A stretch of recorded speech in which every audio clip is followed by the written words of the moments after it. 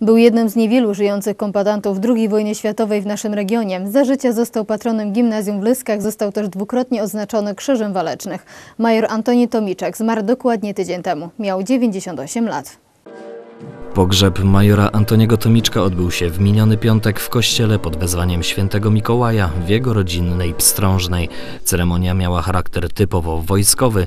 W jej trakcie oddano hołd jednemu z najbardziej zasłużonych weteranów II wojny światowej, pilotowi bombowców, dostawcy zaopatrzenia dla walczących w Powstaniu Warszawskim.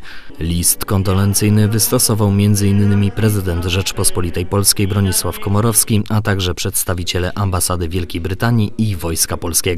Major Tomiczek zmarł 19 listopada w swoim domu w Strążnej. Miał 98 lat. Chciałem zostać pilotem bombowym, żeby się Szwabom odpłacić za to, co ja w Polsce przed tymi bombami uciekałem.